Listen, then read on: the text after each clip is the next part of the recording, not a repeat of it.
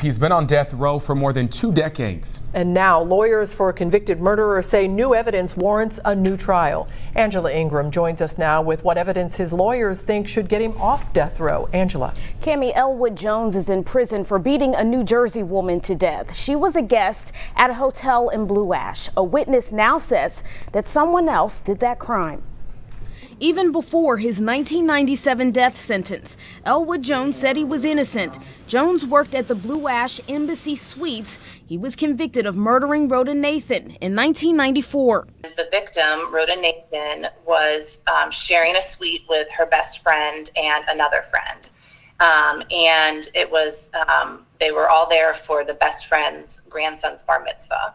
Jones's lawyer says there's new evidence that warrants a new trial. A woman who was in the Hamilton County Jail years ago came forward and said another man killed Nathan. And another woman in the jail, whose name was Linda Reed, confided in her that her husband, whose name was Earl Reed, had confessed to doing the murder in the embassy suite and framing a black man for it. Both Linda Reed and her husband are now dead, leaving only the statements of the woman who was in jail with Reed. During the trial, police also said they found Nathan's pendant in Jones's car. I don't think the police and prosecutors were convinced by the pendant because even after they found this pendant, they didn't do anything to arrest or prosecute Elwood for more than a year. Barnhart says prosecutors used what she calls junk science to convict Jones. Jones had an infected hand injury that prosecutors say he got by hitting Nathan in the mouth. But Barnhart says it was a cut.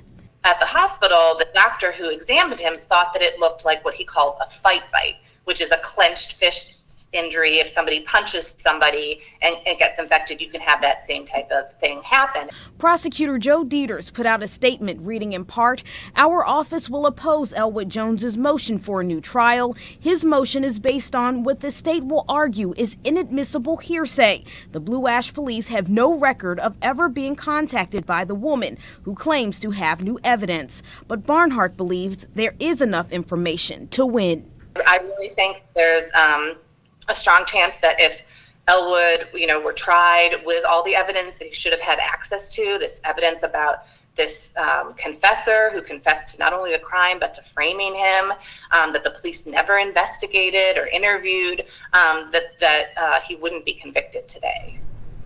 A judge granted Jones a hearing based on the new evidence next week. Both sides will be back in court to pick a date for that hearing. Cami, back to you. All right, Angela, thank you. And Elwood Jones does have an execution date scheduled for April of 2021.